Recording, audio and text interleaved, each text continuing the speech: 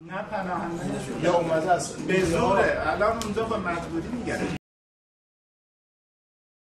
بیرون با اختیار خودش. امروز خ... نخواست با من زندگی